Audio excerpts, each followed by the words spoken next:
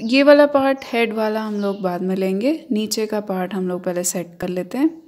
तो पहली चीज़, हम लोगों ने ये जो स्केलेटन बनाया we will use these lines as a centre line ठीक है? बाद में इनको इरेज कर देंगे। स्केलेटन बीच में है और उसके साइड में फ्लैश है। तो अभी फ्लैश स्किन डालना स्टार्ट करेंगे। मैंने नेक की डाली, यहाँ पे वी डाला। You see it I am using this as a darker line ठीक है?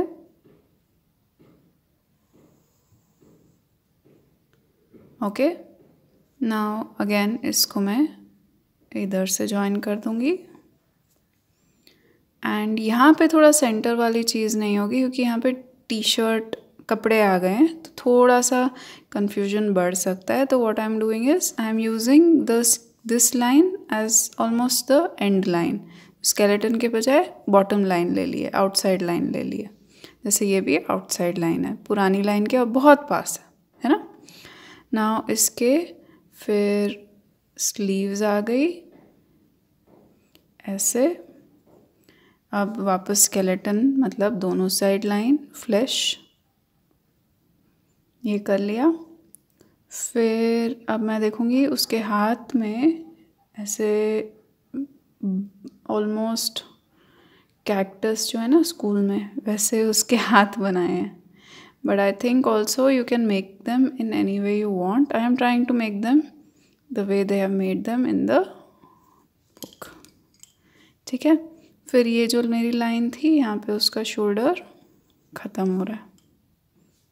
सॉरी, यहाँ पे मेरे से गलती हुई। ये थोड़ा स्ट्रेट नहीं है, ये ऐसे जा रहा है।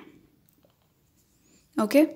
अब ये जो लाइन है, बैक की अगर आप देखेंगे तो इधर से ही कंटिन्यू हो रही है नेक की। नेक यहाँ से स्टार्ट था तो अगर ये हाथ नहीं होता शोल्डर नहीं होता तो ये ऐसे जाती। तो वहाँ से ही कंटिन्यू करके I am making it here then I am making the chair. तो now what we'll do is we'll make the final thing fair fair कैसे करेंगे? डार्क लाइन्स बना देंगे।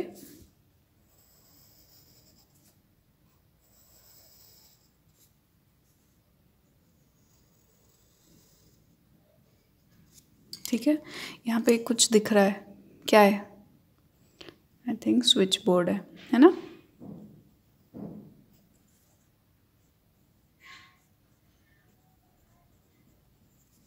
Okay. Then I can also this is definitely dark gray. So I'm coloring it with my pencil only. Okay. Then what I'll do is under key lines I will